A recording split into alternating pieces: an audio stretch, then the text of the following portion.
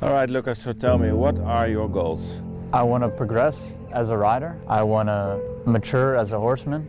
And I want to compete and win some Rolex majors. And eventually, perhaps the Rolex Grand Slam of show jumping, which is the pinnacle of our sport. It's a long road towards them. And if you want to do that road too quick, you maybe get there once, but it will be only once, you know. And uh, you want to be there for Many times. Many times, you know.